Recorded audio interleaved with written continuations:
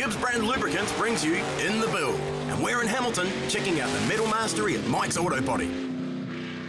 Yeah, g'day, I'm uh, Mike Dunn from Mike's Auto Body Limited. Mike's Auto Body is um, restoration shop as opposed to a collision repair shop.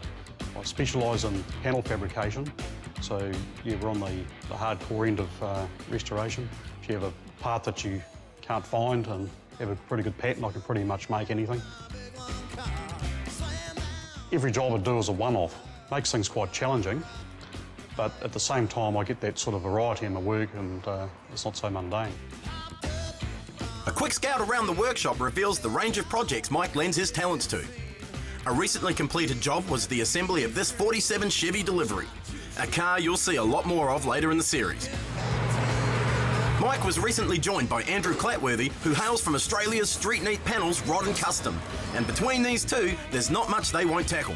This is a 1964 XM Falcon Coupe. This car, when it came to me, it had been acid dipped and um, not really very well protected. Um, it had been in, a, in another panel shop.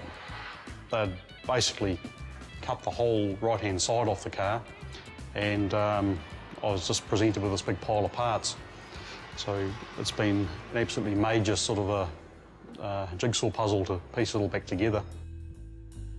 Both rear quarter panels have had um, patch panels put into it. It's had four floor, floor pans. It's had major reconstruction in the pillars.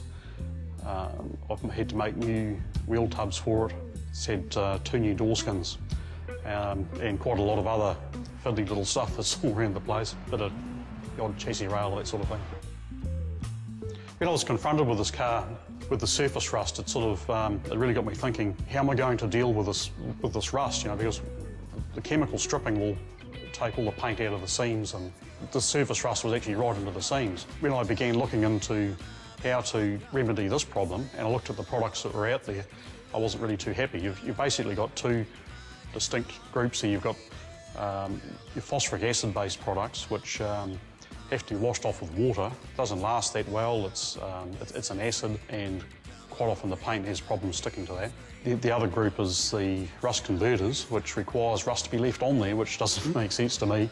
It also really pretty much just treats the surface, doesn't really get into the, into the steel, and it certainly doesn't penetrate the seams that well. Searching the internet, I'd seen this product, Gibbs brand lubricant. People were sort of raving about how good the stuff was. Then I read an article in the in the Rodders Journal about Metallica guitarist Kirk Hammett um, using it on a 76 three-window coupe, and he was driving this car around for like 12 months or so, just in, in bare metal with Gibbs brand lubricant on it. I thought, well, you know, this must be really good stuff. So I made some inquiries, and uh, basically, to with the, um, the problems with shipping the stuff, I've ended up being the New Zealand and Australia distributor for the product. That's the same Gibbs brand lubricant that brings you in the build during this series. And it's handy stuff. As well as preventing rust and its waterproofing qualities, it also lubricates metal, plastic, rubber, and wood. We're pretty sure we caught Andrew using it as a deodorant as well. This is a, a 1927 Model T Roadster. I'm building this up as a traditional track roadster, as what would have been raced on the dirt tracks in the early 50s. It'll be running a 270 GMC with a 38 Packard uh, three-speed transmission. Having sort of visited the, uh, the dust up a bit earlier this year, I'm sort of thinking, well, hey, I might be centre steer as well, but uh, I'll have to wait and see on that. Got a lot of work to do. this is a panel I've made more recently. It's a, it's a door skin, completely hand, hand fabricated. You wouldn't believe how much I had to wheel that panel. It looks like a flat panel, but um, I can assure you there's a, there's a lot of shape in that panel. And also, you'll notice that um, the panel actually curves around this way. This is all one piece, there's no welding so far. I put my heart and soul in, into all my work, and um, it's it's really you know the, the car becomes a part of my my life. You know, quite often these these cars will take months, and um, it's a fair chunk out of my life just to put into somebody's project, and um, you know I feel always feel quite connected to that car after it's gone out of here.